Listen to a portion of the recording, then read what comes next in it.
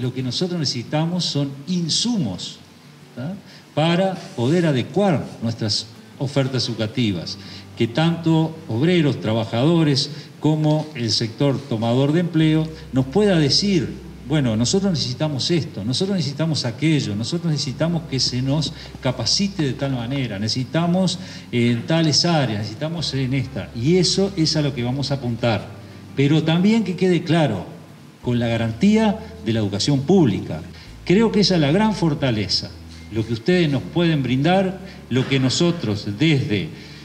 las especialistas que tiene la institución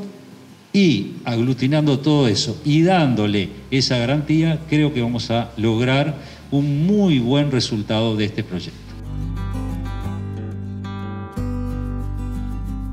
Es el comienzo de una etapa que el Consejo de Educación Técnico Profesional, la UTU, inicia de, eh, digamos, adecuación en diálogo con los trabajadores, con los empresarios y después en instancias también con la ciudadanía de readecuación de su propuesta educativa, de adaptación a las necesidades de la sociedad en permanente cambio, de los más de 600 eh, cursos o instancias de formación que UTU tiene, pero a la vez para la generación de nuevas ofertas, porque no es solo adecuar lo que se tiene, sino generar nuevas propuestas educativas que son nuevas oportunidades. Para generar la matriz de grupos y de propuestas es en diálogo con la sociedad. La UTU tiene esa particularidad, pero necesariamente requiere adaptación de sus propuestas y de sus currículum porque la dinámica es mucha, pero además precisa otra cosa, precisa generar nuevas modalidades educativas. Por más que hoy la educación técnica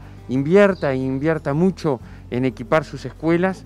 no va a poder con el avance tecnológico para brindar a todos las mayores oportunidades. Entonces es necesario coaligar, es necesario eh, hacer alianzas estratégicas con empresas, con emprendimientos y desarrollar formación también en los centros de trabajo.